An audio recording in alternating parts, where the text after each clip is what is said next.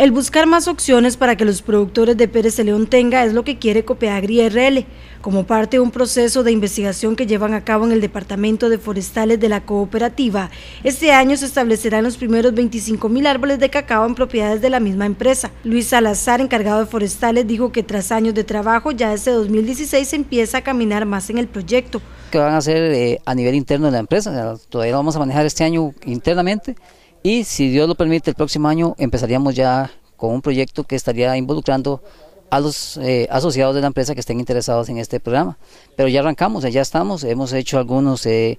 eh, cambios, ya hemos definido algunas áreas completamente destinadas a este proyecto y esto hace que hemos trabajado durante este año para contar con un vivero, contamos con 30 mil árboles, 30 mil plantas listas para ser establecidas y a hoy ya llevamos eh, 6.000 árboles plantados debidamente en fincas de Copeagri. Copeagri inició en el 2009 con las investigaciones, pero fue hasta en el 2013 que se dio un gran auge en la siembra del cacao. Y eso es lo que nos ha permitido al día de hoy tomar la decisión de que vamos a entrar en un proyecto ya eh, totalmente de un área cultivada de cacao de manera pura, digamos así, solo cacao, no vamos a hacerlo en combinación con café ni con otras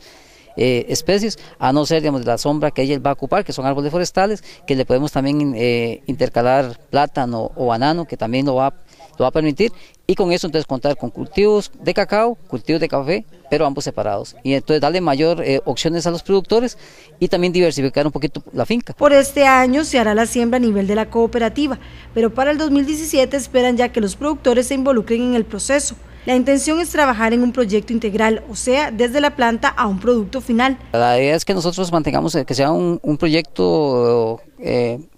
integral, desde la siembra del árbol hasta terminar con, un producto, eh, ojalá ya elaborado, terminado. Soñamos algún día también con unos chocolates que sean chocolates del Valle, chocolates Escopeagre, o menos chocolates del Cantón de Pérez Ledón, pero eso va en proceso, vamos por etapas, ya nos, nos, toca, ya esa etapa muy, muy cerca, ya hemos empezado a trabajar con la parte de, de, ventas internacionales, con el objetivo de que ellos eh, empiecen a, a, buscar los mercados, qué podríamos, cómo podríamos estar entrando en este tipo de negociación. La idea es brindarle un valor agregado al cacao, por ejemplo, elaborar chocolates. Eh, nos hemos convertido el país por muchos años en productores de materia prima y hasta ahí ha llegado nuestra, nuestra etapa y eso nos damos cuenta y sabemos que los procesos comerciales y donde realmente está el valor agregado y donde está el dinero es en la transformación de estos productos y todos sabemos y por ejemplo, ustedes de chocolate, entonces, bueno, hablemos, Suiza es quien nos, cuando hablamos de chocolate hablamos de Suiza, y en Suiza nunca han plantado un árbol de cacao, a no ser que lo tengan ahí en unas condiciones eh, climáticas eh, artificiales, porque allá no se dan. Pero ellos sí han hecho de este producto un, comercio increíble y han logrado obtener grandes beneficios. El proyecto camina, indicó Salazar, y esperan pronto hasta tener una marca.